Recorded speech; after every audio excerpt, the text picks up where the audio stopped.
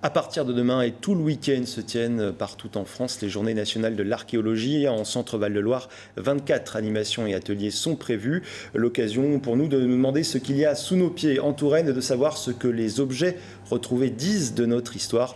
Pour en parler avec nous ce soir, je reçois Denis Maljean. Bonsoir. Bonsoir. Vous êtes archéologue. Ma première question, elle est toute simple. Quand on parle d'archéologie, de recherche archéologique, on parle de quelle période? En fait, on va parler de toutes les périodes qui concernent les humanités. Et euh, dans, une, euh, dans un territoire comme la Touraine, elles peuvent remonter euh, à la préhistoire, à la préhistoire ancienne. Et elles vont s'étaler jusque...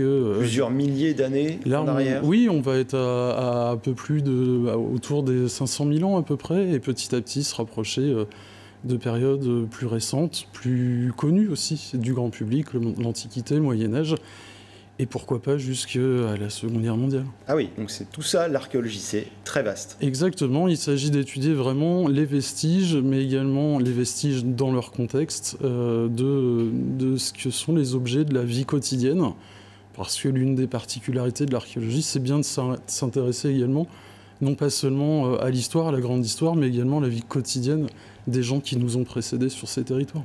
Est-ce que la, Touraine a une particularité en termes d'archéologie? Alors la Touraine, je ne sais pas si elle a une particularité, puisque le, territoire français en général est un, territoire qui est, parcouru donc depuis la préhistoire ancienne, qui a été mis en culture depuis le néolithique, donc depuis la, préhistoire récente, qui a été occupé euh, de façon euh, quasiment, euh, de façon continue jusqu'à jusqu'à nos jours. Et donc du coup la potentialité euh, de trouver des vestiges à partir du moment où les ressources naturelles mhm. sont intéressantes.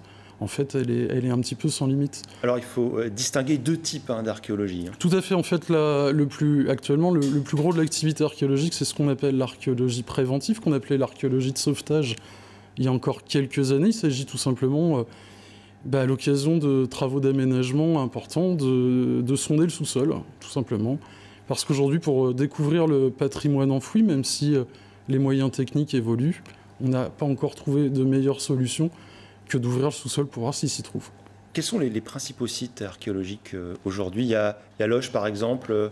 Alors après, régulièrement. on, peut, on peut, mais Loche est, un cas un petit peu hybride puisque les, recherches archéologiques récentes sur Loche sont à la fois dans le cadre d'archéologie préventive, les travaux de dévégétalisation des remparts, de confortement des remparts, amènent plutôt à ce type d'opération, des, travaux d'aménagement euh, récents également. Il y, a, par exemple eu des sondages négatifs, mais qui ont été faits à l'occasion de la, création de la nouvelle gendarmerie.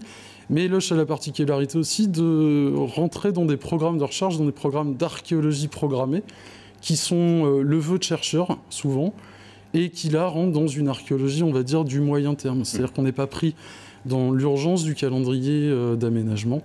Euh, il s'agit de plans triannuels, de fouilles programmées, et qui vont permettre de répondre à un questionnement euh, particulier. Alors vous parliez d'archéologie préventive, justement, vous avez travaillé sur le chantier de la LGV Tour Bordeaux. 900 archéologues, comment ça s'est déroulé? Euh, alors c'est un chantier quasi pharaonique euh, euh, pour l'archéologie préventive. 900 archéologues, ça représente aujourd'hui à peu près un tiers de la profession en France.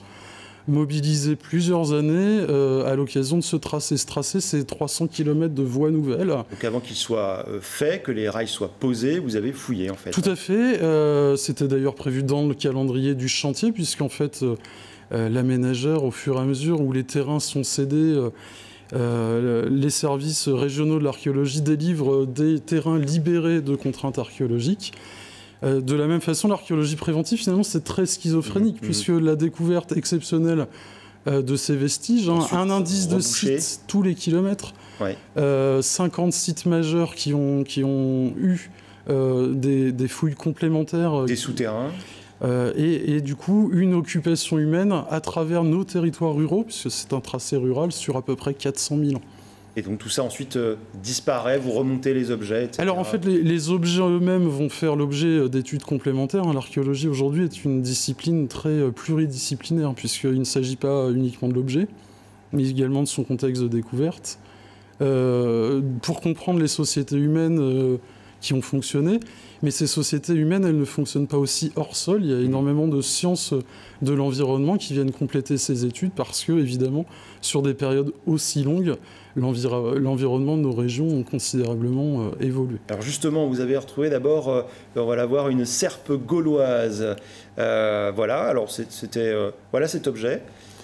Cette serpe, elle est intéressante et les téléspectateurs peuvent la voir parce qu'elle me permet aussi de rappeler que la serpe elle-même donne des informations. Mhm. Les Gaulois sont d'excellents, sont d'excellents artisans du fer.